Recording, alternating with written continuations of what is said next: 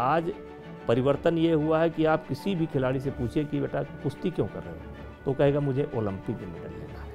जब भारत का तिरंगा लहराया जाता है और हमें मेडल मिलता है तो कैसा लगता है? जिस समय तिरंगा लहराता है उस समय मतलब कोई अपने आप को रोक नहीं पाता। जब मेरा रेसलर लड़ता है तो उसके जीतने पर भी मेरे आँसू निकल जाते हैं और हारने पर भी आँसू निकल जाते हैं। मैं तो केवल रोने के लिए जाता हूँ।